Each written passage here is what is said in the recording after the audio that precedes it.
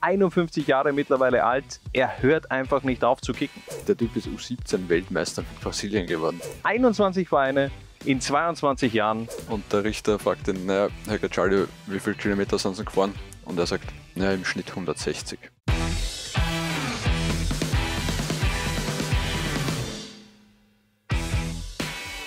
Laula 1 paniert, heutiges Thema Ü37. Diese Kultkicker spielen noch immer, denn das österreichische Fußballunterhaus ist voll bepackt mit legendären Namen vergangener Tage und denen möchten wir gemeinsam mit unserem Partner Billa Billa Plus heute eine Bühne bieten. Und da starten wir im Tor gleich mal mit einer richtigen Ländle-Legende, Harald. Mit 50 Jahren lässt sich ja so mancher eigentlich ein künstliches Hüftgelenk einsetzen, schon als Ex-Kicker, aber nicht so Christian Mendes. Der Mann ist 50 Jahre und schmeißt sich noch äh, auf den Vorarlberger Sportplätzen durch die Gegend. Er ist nämlich Tormann beim FC Hörbrands in der Vorarlberger Liga. Vierte österreichische Liga, heute so ein bisschen auch eine Schulstunde in Sachen Fußball-Ligensystem, also Vorarlberger Liga, Leistungsstufe 4 in Österreich. Ähm, der ist ein Austro-Brasilianer, ist aber sehr frühzeitig in seiner Karriere dann Richtung Vorarlberg aufgebrochen. Ja, war so Mitte 20, als er dann das erste Mal im Ländle aufgeschlagen ist, äh, war zwischendurch auch in der Schweiz und in Deutschland, aber also geografisch eh immer in, in derselben Gegend unterwegs und am ähm, bekanntesten in Österreich ist er aus seiner Zeit beim FC Lustenau und bei der Lustenauer Austria. Da hat er einige Spiele absolviert, war aber lange Zeit auch äh, Backup-Goalie unterm Strich 150 Spiele in Liga 2 für den FC Lustenau und Austria Lustenau. Und der Mann ist äh, das beste Beispiel für gelungene Integration, weil wie nennt man als Brasilianer seinen Sohn? Chepesta. Klaus. ja, und äh, der gute Klaus Mendes ist 21 Jahre alt und ist auch Tormann, aktuell in der zweiten Mannschaft des FC Lustenau, zwei Spielklassen unter seinem Vater in der sechsthöchsten Liga aktiv. Ja, wer weiß, vielleicht gibt es noch ein Duell auf Augenhöhe, Duell der Generationen in der Familie Mendes. Vor dem Brasilianer bzw. Austria-Brasilianer schicken wir ein 3-5-2 aufs Feld und den Beginn in der Abwehr macht dabei der Dobermann, Andi Dober, mittlerweile in der Gebietsliga angekommen. Gebietsliga ist äh, Spielklasse 6 dann in Niederösterreich beim SV Absdorf. Der wechselte im Sommer 2021 von Siegendorf nach, nach Absdorf und da gab es gleich mal zu Beginn eine Verletzung. Kann mich noch gut erinnern, hat er damals auf Instagram etwas gepostet mit Krücken und einem Gips und da bekam er eigentlich nur Häme von Toni Polster und Co., die eher so gemeint haben, nee, jetzt stell dir nicht an, kick jetzt einfach, aber mittlerweile spielt er wirklich auch in Absdorf. Genau, das ist einer, der es offenbar nicht ganz lassen kann und ist auch abseits seiner, seiner fußballerischen Tätigkeit noch im Fußballgeschäft aktiv, ist nämlich äh, äh, Mitarbeiter bei der Berateragentur von Max Hagmeier. Also mittlerweile sehr gut aufgestellt. Andi Dober. Neben äh, Dober läuft Eisenfuß Wolfgang Klapf auf, den man mittlerweile wirklich als lebende Legende von Union Weißkirchen bezeichnen kann. 44 Jahre inzwischen Wolfgang Klapf alt und ist seit 2014 bei Union Weißkirchen. Da kann ich nur den Hut ziehen, im Gegensatz dazu, dass ich den Hut vor dem Logo von Union Weißkirchen knapp nicht ziehen kann. Das ist wirklich strange. Also das sind irgendwie, da treffen zwei Logos aufeinander. Einerseits diese Sportunion und dann die Zebra-Seite. Ich glaube, was steht dann seit 1963, glaube ich. Ähm, ein bisschen komisch, aber die haben eine richtig geile Truppe da beieinander. Also er nicht der einzig namhafte Kicker bei Union Weißkirchen, denn da spielt auch noch ein Florian Tempel, ein mhm. Daniel Kerschbaumer und auch ein Valentin Grubeck der gleichzeitig äh, noch beim LASK als einer der vielen äh, Sportkoordinatoren etc., wie all diese Jobs halt heißen, tätig ist übrigens. Ja, eigentlich geile Geschichte. Aber generell auch die Geschichte natürlich auch von, von Wolfi Klapf. Ähm, mit dem LASK hat er 2014 noch den Zweitliga-Aufstieg im Grunde fixiert und dann ist er gleich wohl eh weiter gewechselt äh, zu Union Weißkirchen in die vierte, vierte Liga, wurde dort auch Meister. Richtig. 2022 in der Oberösterreich-Liga, aber man hat auf den Aufstieg verzichtet. Was man, vielleicht können wir noch dann ein Foto einblenden von Wolfi Klapfen mit Haaren. Das ja. ist für mich so das äh, Gianluca Vialli, Gott habe ihn selig, Phänomen äh, dass der mit Haaren einfach wie ein komplett anderer Mensch ausgeschaut hat. Ja, stimmt. Den letzten Platz in unserer Dreier-Abwehrkette bekommt ein EM-Starter von 2008, Harald. Ronald Ronny Gaccialio hat 2008 äh, zum EM-Auftakt spielen dürfen gegen Kroatien, danach nicht mehr. Aber hat insgesamt 13 Länderspiele und, nein, 14 Länderspiele sogar. Und eine echt spannende Karriere hingelegt. Ja, Der war überall. einerseits er hat für viele Vereine gespielt, andererseits er hat im Grunde mit 31 Jahren schon seine, seine Profikarriere beendet. Die letzte Station war KF Tirana in, in Albanien, aber was der davor gemacht hat, äh, von Sturm Graz über Red Bull Salzburg, die Wiener Austria, Wiener Neustadt, Ingolstadt, Lodz, Aue, Cluj, Altach, also der hat wenig auslassen. Aber seit 2020 äh, bereits beim FC Kufstein in der Regionalliga Tirol, also wirklich mit 31 Jahren dann auch seine Profikarriere im Grunde beendet und seither wirklich auch im Tiroler Unterhaus unterwegs. Und es gibt schon ein paar nette Anekdoten zu Ronald ganz- Gesalio. Ganz lustige Anekdoten zu Ronald Gaccialio, ja. Er hat einmal vor Gericht in Salzburg eine Aussage tätigen müssen, ist äh, aus Wien angereist und hat dann um Fahrtkostenersatz gebeten, der einem ja zusteht.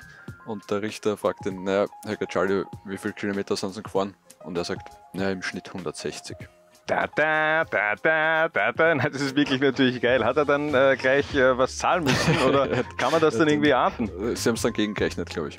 Ja, das ist echt eine geile Aussage. Und bitte bring noch die, die Klimmzüge-Geschichte, die finde ich auch gut. Vorbereitung bei der Wiener Austria-Trainer Georg Zellover sagt, Burschen, wir machen heute Klimmzüge. Ronny Gaccialio fragt, mit wie viel Kilo Trainer?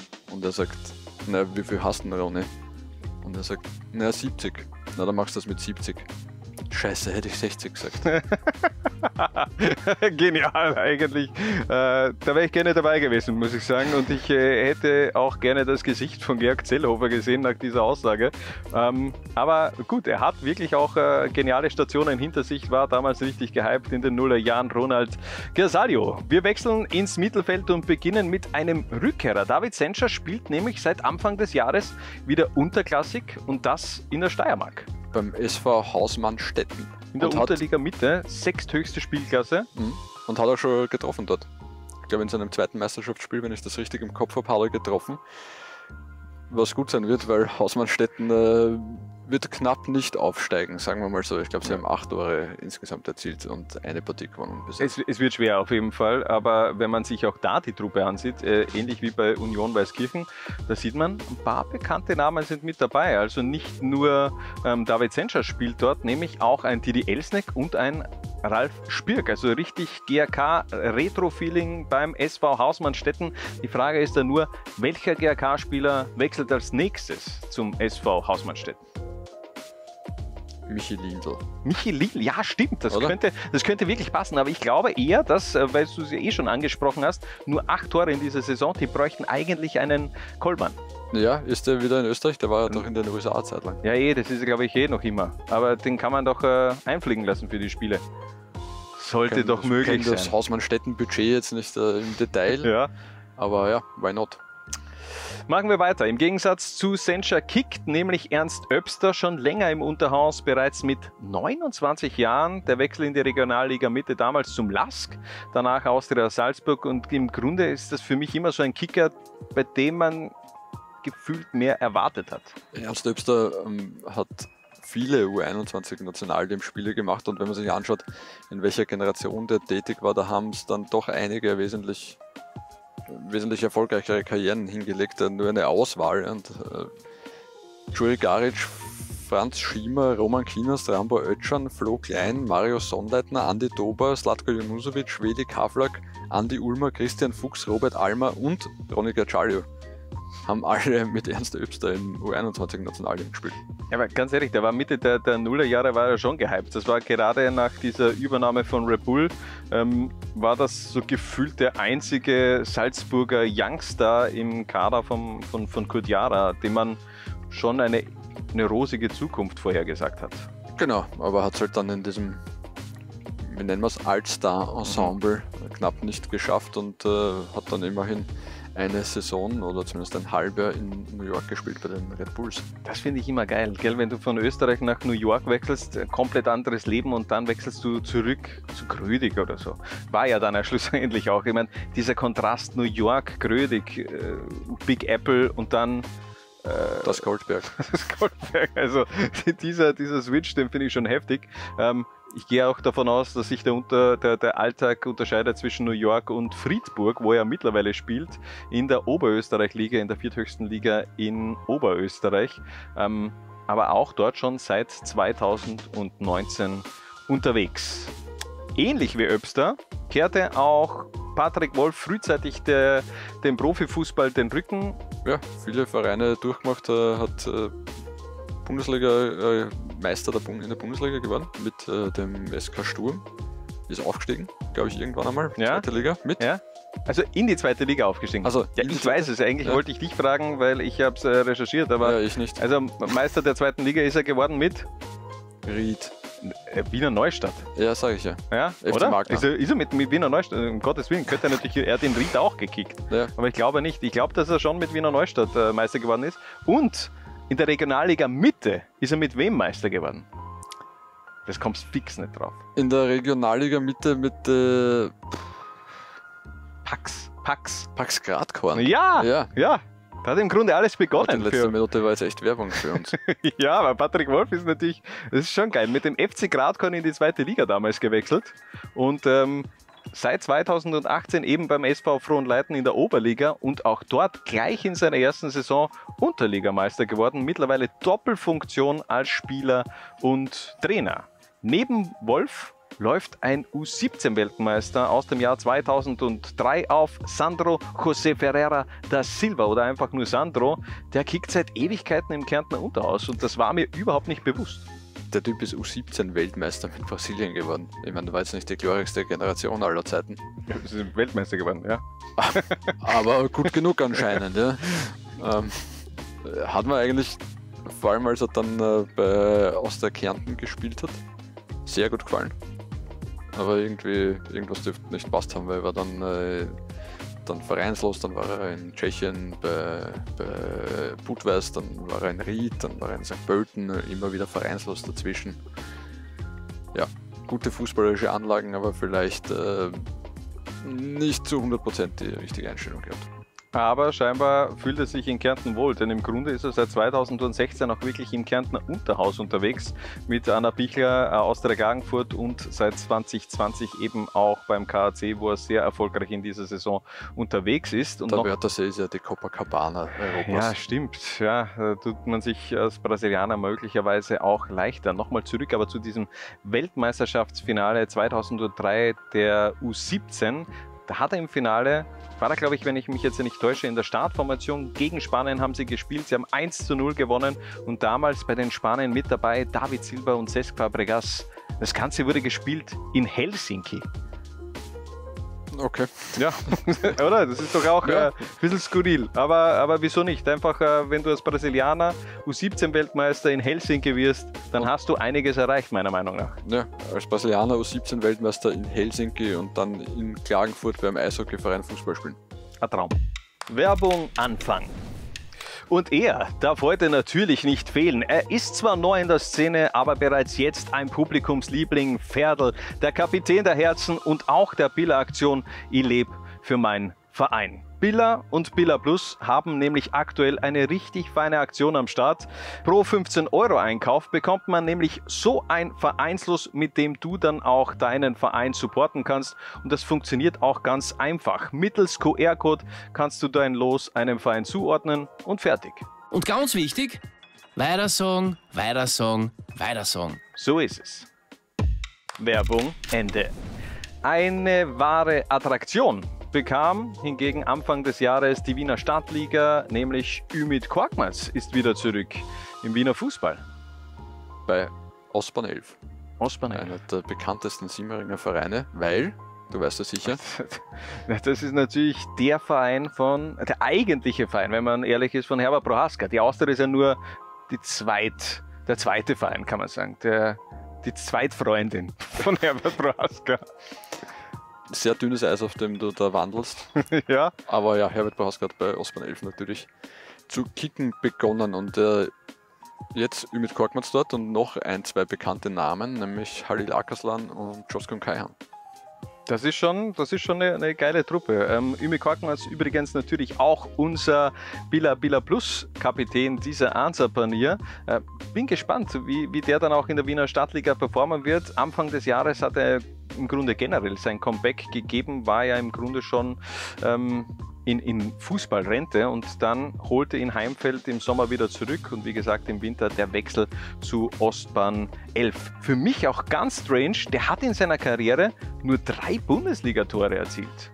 Eines gegen äh, eines beim legendären 7 zu 0 gegen Red Bull Salzburg, zwei Wochen später dann bei diesem ganz wichtigen Spiel gegen Lask und äh, noch eine Partie gegen, gegen Wacker Innsbruck und das war's. Also das habe ich irgendwie anders in Erinnerung.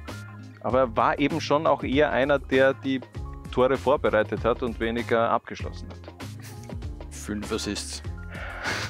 Ja, dann streichen wir das besser vielleicht auch. Ähm, für unseren nächsten Kicker. Ein kurzes Wer bin ich Quiz zu Beginn, Harald. Ähm, für unsere User da draußen so. natürlich. Ja, du kannst natürlich auch mitmachen. Okay. Hörst dir einfach an. Ich habe für folgende Vereine gespielt: Tulln, Vienna, Langenrohr, Bayern, Koblenz, Kräuter Fürth, Rapid, Wolverhampton, Bristol, MSV Duisburg, Red Bull Salzburg, 1. FC Köln, Millwall, Wiener Neustadt, Trenzin, Mattersburg, Aarau, WSG Tirol, Admira, Würzburg Kickers und seit Sommer 2022 Krems. 21 Vereine in 22 Jahren. Stefan Meyerhofer ist der Amir Bradaric der Neuzeit. Ich wollte gerade sagen, eigentlich äh, schwer zu erraten, weil es könnte viele Fußballer zutreffen, dieser Werdegang. Aber ja, Stefan Meyerhofer natürlich. ja, natürlich weißt du es schon, weil wir haben davor schon gesprochen, aber schon Wahnsinn, oder? Was sehr für, also, äh, ich meine, es ist ja auch brutal, was der aber auch in seiner Karriere mitgenommen hat. Also der hat jetzt ja nicht nur viele Vereine gehabt, sondern der hat auch viele Titel geholt. Ja, und vor allem auch die Vereine, für die, für die er gespielt hat. Ja. Also da waren schon einige, einige Kulttruppen dabei. Ich meine jetzt Nona, die Bayern und, und Rapid und aber ich meine auch Millwall. Ich meine, wer will nicht mal für Millwall spielen? Das ist doch mörderisch, oder? Ja, eh, aber dann hast du eben auch noch so. so Oder äh, auch Köln, in, Ja. in Duisburg, ich glaube vor, Ja. vor zwei Jahren noch eine Stefan Meyerhofer Choreo.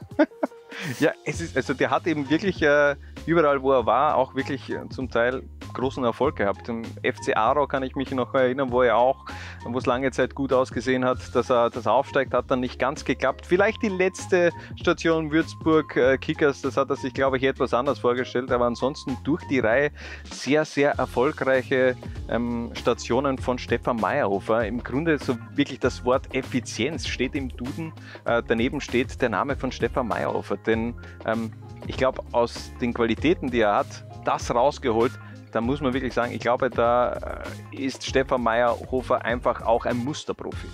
Ja, und ich muss jetzt aufhören, da auf Transfermarkt mal die Vereine alle anzuschauen, weil ich, ich scrolle mir eine Sehnenscheidenentzündung.